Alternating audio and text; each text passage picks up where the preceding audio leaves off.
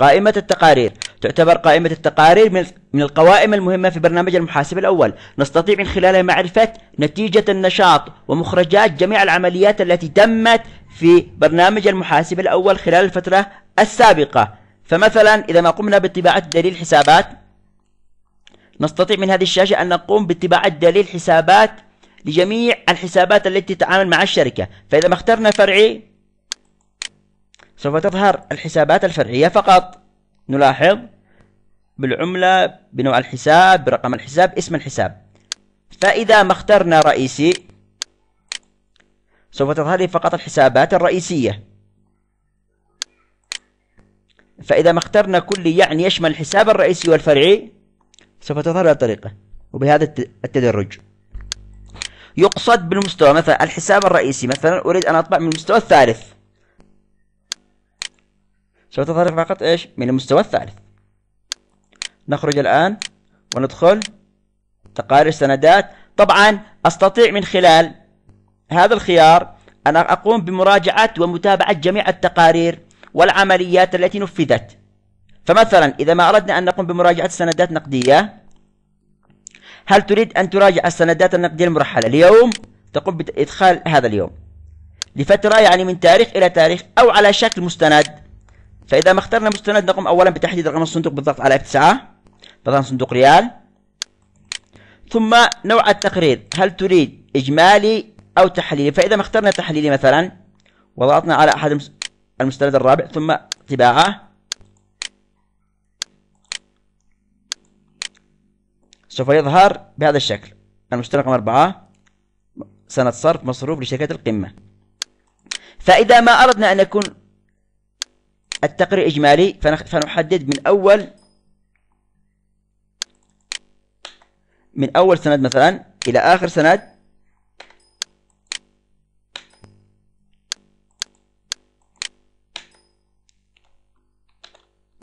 ثم نقوم بالطباعة. سوف تظهر بشكل إجمالي صندوق السند مثلا الأول تاريخه والمبلغ السند الثاني وهكذا. يتم استخدام تلك العملية تقوم بنفس الطريقة على باقي السندات القيود اليومية السندات البنكية فواتير المبيعات وغيرها. أما السندات الغير مرحلة مثلا إذا ما اخترنا سندات نقدية كمثال على شكل مثلا مستند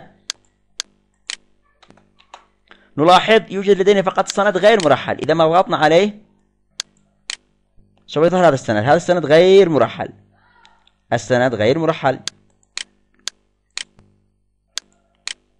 كشوفات الحسابات تعتبر آه هذا الخيار من أهم الخيارات في برنامج المحاسب الأول. نستطيع من خلال معرفة الأرصدة لجميع الحسابات التي تعمل مع الشركة في نشاط جاري. فندخل مثلا كشف حساب فرعي تحليلي. في هذا الكشف نستطيع معرفة جميع الأرصدة والعمليات التي تمت في كشف حساب معين. فإذا مثلا قمنا بالضغط على F9 واختيار حساب معين من الدليل المحاسب مثلا حلات الأوراق مثلا كمثال؟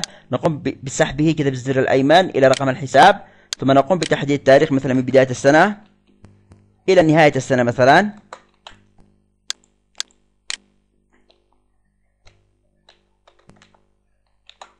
ثم طباعة. سوف يظهر كشفه بالطريقة بالطريقة التالية كشف حساب من تاريخ مثلا واحد واحد إلى تاريخ محلات الوراق. هنا نوع العمليات تاريخ العمليات. وهنا يظهر مثلا الرصيد وهكذا. جميع العمليات الأرصدة التي له والتي عليه سواء مدين أو دائن. فإذا ما أردنا أن نقوم بطباعة أكثر من حساب مثلا نختار من أول حساب إلى آخر حساب ثم طباعة. سوف يظهر محلات الورق كما قلنا سابقا ثم نضغط بالسهم الأسود فيظهر سوبر ماركت الهدى كرصيد افتتاحي ورصيد نهائي وجميع العمليات التي تمت على هذا الكشف. بهذه الطريقة. كان عليه عشرين ألف رصيد افتتاحي سدد منها ألف الآن المتبقي عليه ألف دولار. نقوم الآن بالخروج. الدخول مرة أخرى. كشف حساب رئيسي تحليلي. نستطيع من, من هذا الكشف أن نقوم بتحديد جميع العمليات اللي تمت الحسابات الرئيسية. فمثلا إذا بالضغط على F9 مثلا واختيار مثلا عملاء محليين وسحبها إلى بالزر الأيمن إلى الحساب ثم تحديد التاريخ ثم طباعة. تظهر جميع العمليات المندرجة تحت الحساب عملاء المحليين. هذا محلات الورقة التجارية. ونقلب بالسمن وهكذا. سوبر ماركت الهدى وهكذا. فإذا ما دخلنا مرة أخرى كشف حساب فرعي إجمالي. الكشوفات السابقة كانت تحلية الآن الإجمالي نحدد مثلا رقم الحساب بالضغط على F9.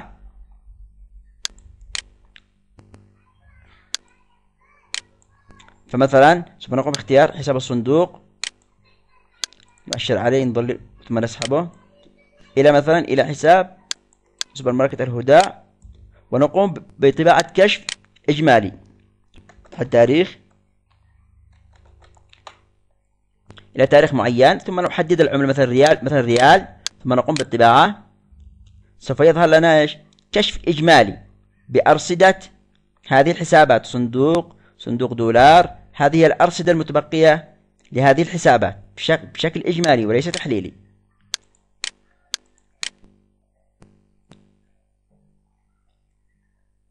أرصدة الحركة الشهرية. إذا ما ضغطنا عليها ثم قمنا مثلا هل نريد كشف الحساب؟ الحساب مثلا الحساب الفرعي. مثلا من حساب ضغط على F9 مثلا.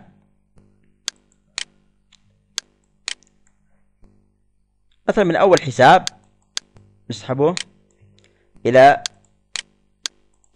هذا الحساب كمثال كعينة بطباعة. سوف يظهر لنا ماذا؟ الأرصدة أو إحصائية شهرية بأرصدة حساب السنة. إذا معنا أرصدة خلال السنة سوف تظهر مثلا هذا شهر 6 شهر 9 هذه أرصدة إيش؟ الحسابات. أرصدة الحسابات خلال شهر سبتمبر. كإحصائية. الأرصدة الحالية نقوم مثلا بتبعث فرعي وتحديد الحساب بالضغط على F9 واختيار الحسابات ومعرفة أرصدتها بسحبها سحب بالضغط على الحساب وسحبه لهم ثم الطباعة سوف تظهر لنا هذه أسماء الحسابات. الرصيد تحين وجد الحركة الحركة الرصيد الحالي. الحركة يعني إيش؟ آه ما تم استلامه ودفعه مثلا. مدين دائم ثم الرصيد النهائي. بالجميع العملات بالريال بالدولار وغيره اليومية العامة. نستطيع من خلال اليومية العامة معرفة جميع القيود المحاسبية التي ينفذها النظام آليا. فإذا ما اخترنا مثلا سنة صرف وأردنا معرفة طبيعة القيد المحاسبي الذي سوف ينفذ النظام آليا مثلا حسب أرقام الوثائق ثم حدد مثلا من تاريخ إلى تاريخ مثلا إلى تاريخ 30 9 كمثال ثم قمنا أو حدد مثلا برقم المستند واحد مثلا رقم كذا أو نترك الحقوق الفاضية ثم نقوم بالطباعة سوف تظهر لنا هذه القيود التي نفذها النظام آلية لسنة صرف. سنة صرف من حساب المصاري مثلا كمدين إلى حساب الصندوق. وهكذا. كدائن من حساب المصروفات الحسابات المتأثرة مثلا المصاريف الموظفين العملاء الممردين اللي تم السداد لهم وغيرهم إلى حساب الصندوق. من حساب شركة قمة مدين كمورد إلى حساب الصندوق دائن قل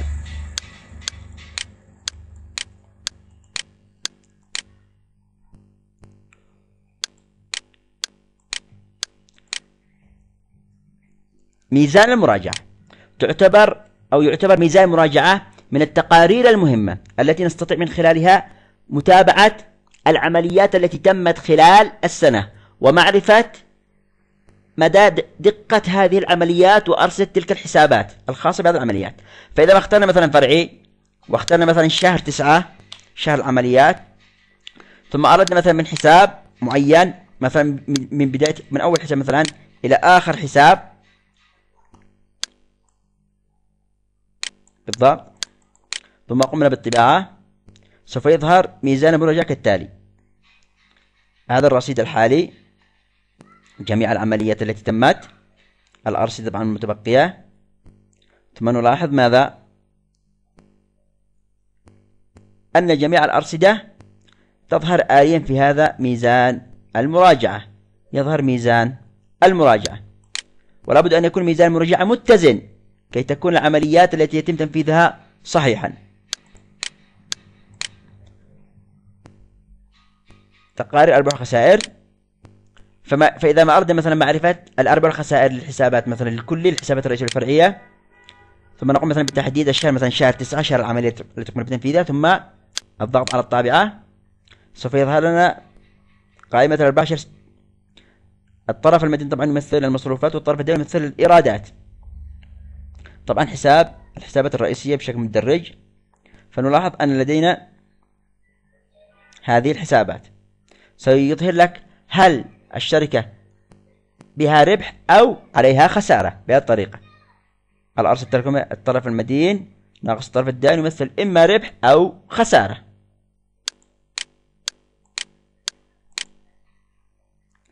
تقرير الميزان العمومية. بنفس الطريقة رئيسي مثلا أو كلي ثم نحدد مثلا شهر معين شهر تسعة شهر العملية التي تم تنفيذها. ثم الضغط على الطابعة. تظهر الميزانية العمومية أو المركز المالي للشركة بهذه الطريقة. طبعا صافي الأرباح تخفى صافي الأرباح سواء ربح أو خسارة تخفى في الميزان العمومية. ثم تظهر لك الأرصدة المتبقية للحسابات كاملة. الأرصدة مثلا الشهر الحالي ثم الأرصدة التراكمية. تظهر بهذا الشكل.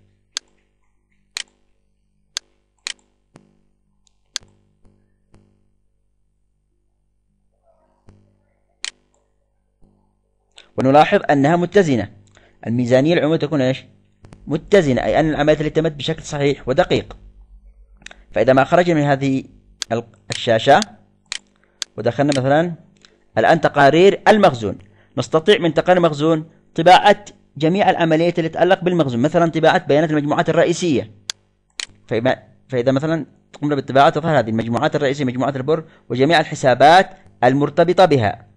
حساب المجموعة مبيعات وهكذا. طبعا هذا الحساب تم إدخاله في شات بيان المجموعات في العمليات.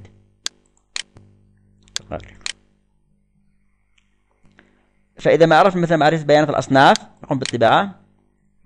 مثلا على أساس المجموعة كل مجموعات مثلا كل الأصناف ثم نقوم بالطباعة.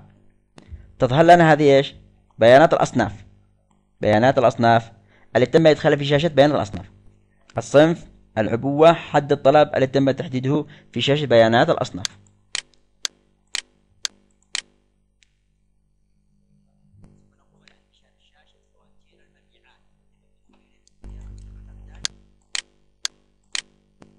تخزين الأصناف. تظهر لنا مجموعة من الخيارات. نستطيع من خلالها معرفة الكميات المتوفرة في المخازن ومخزون أول مدة من خلال شاشة تخزين الأصناف. فإذا مثلا اخترنا على أساس كل الأصناف وقمنا مثلا بالطباعة سوف تظهر لنا بيانات المخزون حسب الأصناف. مثلا رقم الصنف بر أمريكي مخزون الافتتاح 500 كيس. التكلفة الأولية مثلا 8900 إذا إجمالي مخزون أول مدة من البر الأمريكي هذا المبلغ. وكذلك نستطيع معرفة الكمية المتبقية في المخازن. شوف كمية في المخازن الكمية المتبقية مثلا 425 تكلفتها إجمالي الكميات المتبقية من البر الأمريكي. فإذا مثلا اخترنا حسب المغ... حسب المخزن مثلا وقمنا مثلا بتحديد المخزن بضغط على F9 واختار مثلا مخزن المعرض. ثم بطباعة. سوف يظهر لنا إيش؟ المخزن الأول بر أمريكي الكمية المتوفرة التكلفة الإجمالي. ويظهر مخزون الافتتاح وهكذا بنفس الطريقة بنفس المنوال.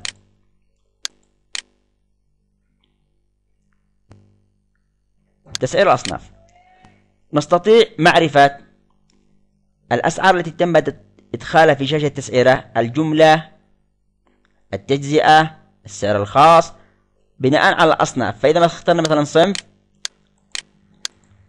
واخترنا مثلا طباعة أحدد مثلا صنف معين بالضغط على F9 مثلا. أو الصفر صفر واحد شرطة صفر صفر واحد. قمنا الصنف.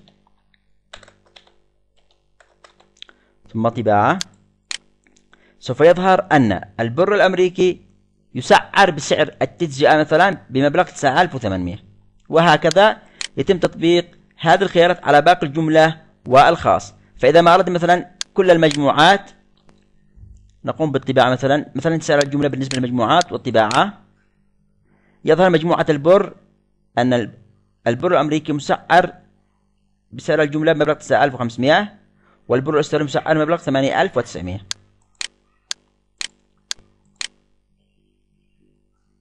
أوامر التوريد. نستطيع من خلال هذه الشاشة أو هذه التقارير معرفة ومتابعة ومراجعة جميع أوامر التوريد المخزني التي تم عملها في المخازن.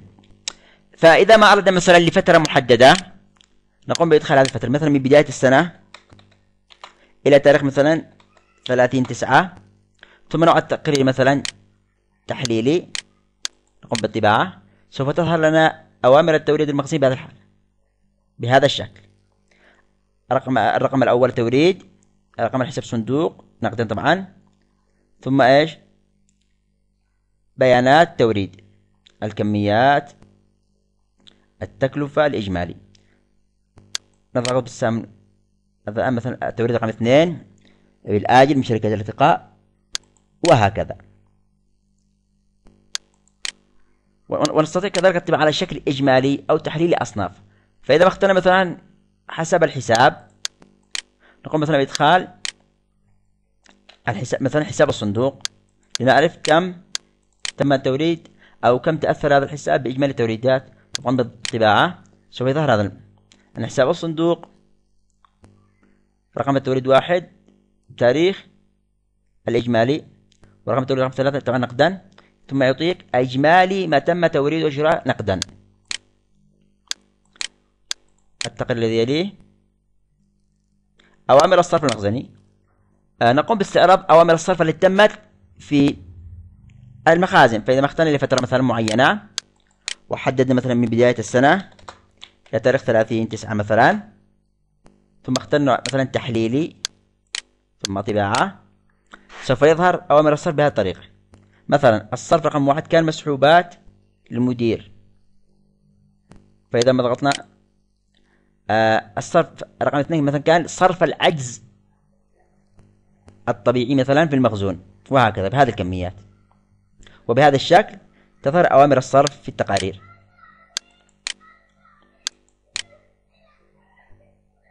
حركة المخزون أستطيع من خلال حركة المخزون متابعة حركة صنف معين المخزون الافتتاحي والكميات الواردة والكميات المنصرفة ومخزون آخر مدة. فإذا ما اخترنا مثلا صنف معين مثلا صفر صفر واحد شرطة أول صنف مثلا ثم رقم المخزن.